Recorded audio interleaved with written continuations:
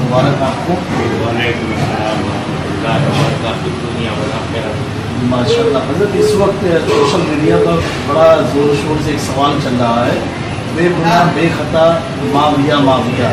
اس سلسلے میں آپ کیا فرماتے ہیں؟ دیکھیے اللہ تعالیٰ نے اب رسول پاک صلی اللہ علیہ وسلم کو سارے صحابہ مقبول محفوظ بنایا۔ ان سے گناہ ہوا ہے، تو مجھے معاف ہو یعنی وہ محفوظ نہیں لگا معصوم نے خطا تو نہیں ہے، محفوظ نہیں لگا تو صحابہ کرام کا اس لیے احترام کیا جاتا ہے کہ دنیا سے جب گئے، تو ان کے ساتھ گناہ نہیں گیا یہی صفایا ہو گیا، مغفرت نہیں ہے لیکن بے خطا یہ مجل نظر ہے میرے کو لگتا ہے کہ اس کا صحیح مصداق اگر بیان کیا جائے پوری ایمانداری سے تو بے گناہ بے خطا مرتضی مرتضی۔ بے گناہ بے خطا مرتضی مرتضی۔ گناہ تو صحابہ پاک ہے اور علی کی خصوصیت ہے تو خطا سے اور حضرت امیر معاویہ رضی اللہ تعالیٰ عنہ جلیل القدر صحابی ہیں۔ ہمیشہ ہمیشہ رہے بیس سال لڑکی حیثیت سے دین کا کام کیا اور بیس سال امام حسن کی کی ہوئی خلافت کے بعد کی۔ تو ان کی خدمات الگ ہے لیکن ان سے حضرت علی کے معاملات کو لے کر کے اور عثمان غنی کی شہادت پر کو کے پیش نظر جو انہوں نے اشتہار کیا کہ فساد ضروری ہے اور عمارت اور ریاست پر اہمیت نہیں دی کہ پہلے ریاست بن جائے، خلافت قائم ہو جائے، پھر فساد ہو جائے۔ تو یہ اس کو ان سے خطا ہوئی اور خطائی اشتہادی اور خطائی اشتہادی میں ایک بات اور ہے کہ خطا کے باوجود اگر خطا نہ ہو کسی اشتہاد میں تو دو نیکیاں ہیں۔ اور اگر ہمارے اشتہاد میں کوئی خطا آ جائے تو ایک نیکی ہے۔ مطلب وہ خطائی اشتہادی کو آپ بری نظر سے نہیں دیکھیں گے، لیکن بے خطا بھی نہیں کہیں گے۔ خطا تو سرزد ہوئی ہے، اس کا اجماع ہے۔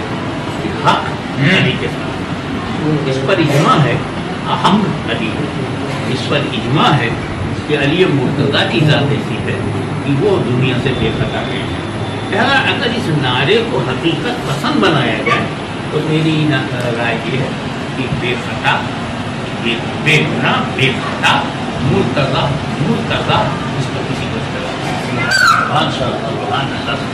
اگر اس نعرے کو صحیح کرنا زیادہ صحیح کرنا تو بس یہی ہے کہ یہ یہ درجہ یہ مقام یہ مرتبہ نہ گناہ نہ خطا وہ علی مرتبہ علی مرتبہ لہٰذا میرے خیال میں آپ لوگ یہ کوشش کریں کہ عوام میں یہ مقبول اور اور عقیدہ بھی کہ بے گناہ بے خطا۔ پبلک کہے رضا سبحان اللہ حضرت، یہ عید الفطر کے موقع پر آپ اہل سنت اور جماعت کو ایسے خرافات سے بچنے کے لیے کیا میسج نہیں، یہ اسے خرافات نہیں کہہ سکتے۔ اسے یہ کہہ سکتے ہیں کہ کبھی کبھی کسی شہرت کے لیے کوئی نئی بات لوگوں میں لائی جاتی ہے کہ وہ بحث ہوگی اور بحث ہوگی۔ لیکن اگر نیک نیتی سے یہ بات کی جائے،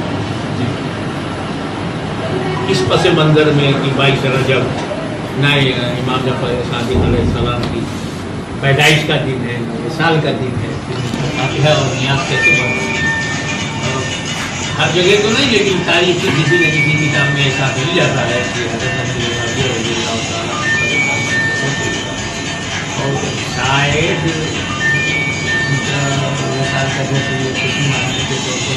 خفیہ ایک میڈیا دشمنان سنیت میں بنا رکھا ہو تو اس کی اصلاح کرنی چاہیے روزانہ کیا جا سکتا ہے؟ شارہ رجب کو بھی کیا جا سکتا ہے عائشہ رجب کو کیا جا سکتا اگر حضرت معاویہ کا مثال اس میں ہوا ہے تو ان کی روح کو بھی اظہار سوال پازیٹیو ہونا۔ ہے یہ ایک نیاز کو ختم کرنے کے لیے آپ اختلافی باتیں کرتے رہے یہ تو متفقہ مسئلہ ہے باوجود اس کے کہ عدل صاحب مشتحدین میں بخاری میں ہے